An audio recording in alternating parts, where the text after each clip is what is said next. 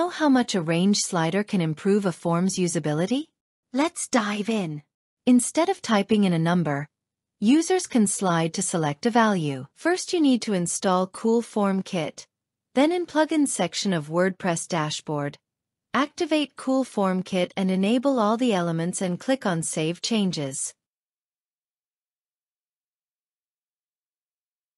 Click on Pages.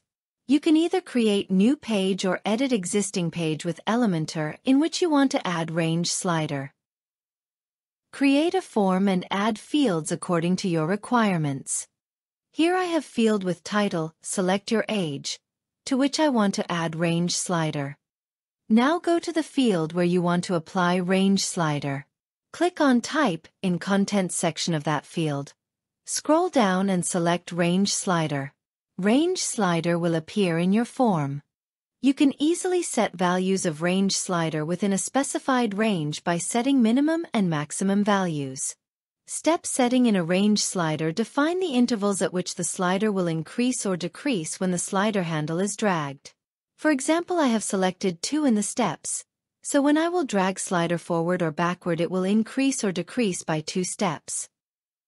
You also have the option to mention a default value to specify the initial position of the slider handle in Start from section.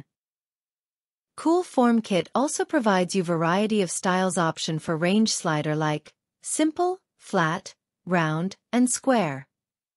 You can select it as per your preference. In the before and after settings, add a prefix and suffix to the min, max value, and the value of the current pointer position. For example, I want years to appear after the value, so I have entered years in after section. Similarly, you can enter prefix in before section. Now click on Update, and then preview the front end. Range slider will be successfully added to your page.